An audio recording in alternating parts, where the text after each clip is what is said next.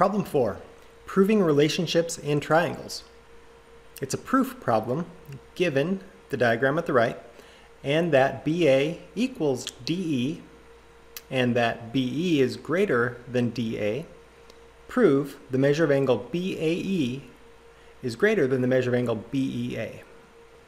In this example, we see a two-column proof. On the left are statements, on the right are reasons or justification. Statement 1, BA equals DE, that's given. Statement 2, AE equals AE, of course by the reflexive property of equality. Statement 3, BE is greater than DA, that was given.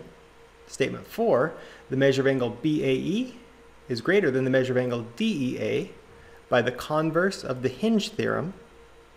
Statement 5, the measure of angle DEA equals the measure of angle DEB plus the measure of angle BEA by the angle addition postulate. Statement 6, the measure of angle DEA is greater than the measure of angle BEA by the comparison property of inequality. And finally, statement 7, the measure of angle BAE is greater than the measure of angle BEA by the transitive property of inequality. Your turn.